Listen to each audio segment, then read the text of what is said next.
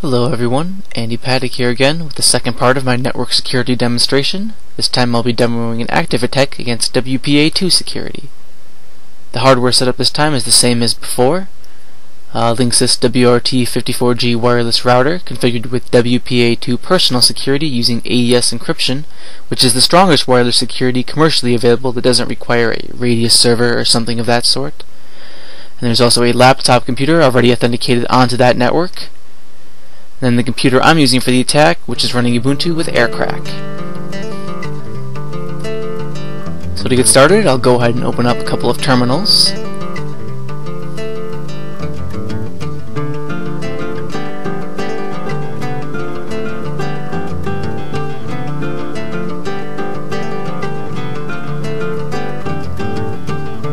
And then I'll use AirMon to place my wireless card into promiscuous mode.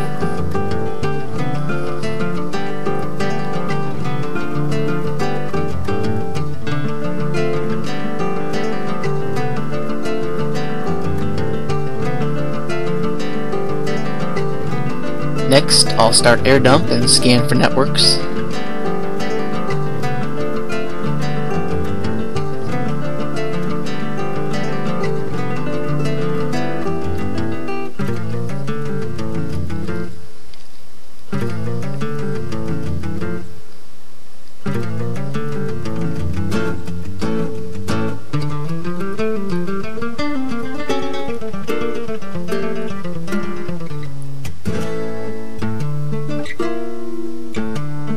I'm picking up a lot of unwanted traffic. So again I'll back out and then rerun AeroDump telling it to listen only to the access point I specify by referring to it by MAC address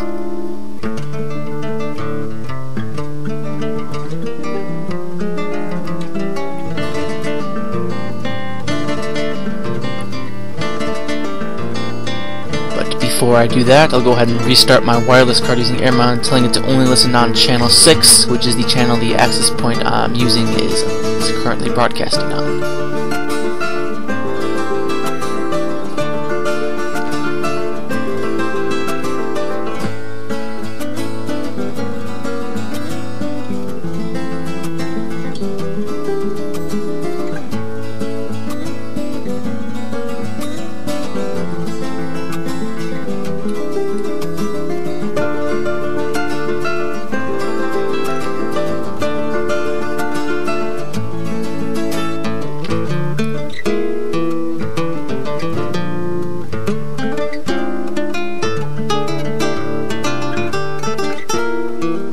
With that done, I will then initialize the active part of the attack using Air Replay to launch a deauthentication attack on the client that's currently connected to the network.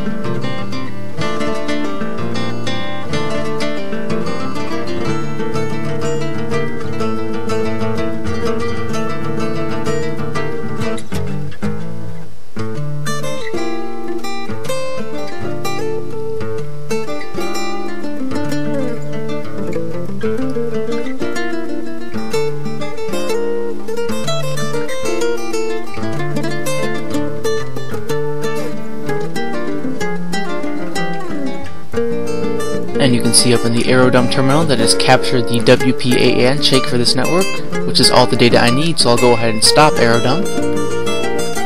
And then I'll run AirCrack and begin my cracking attempt. For my dictionary file, I simply went on Google and searched for popular passwords, and then copied a list of the 500 most commonly used passwords into a text file.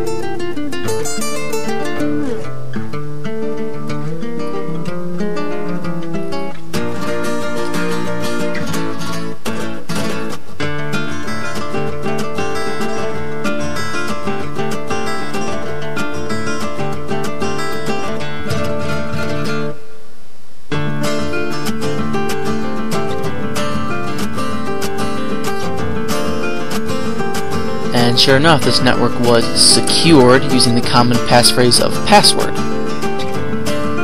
So I'll go up to the network monitor and enter it to connect to the network.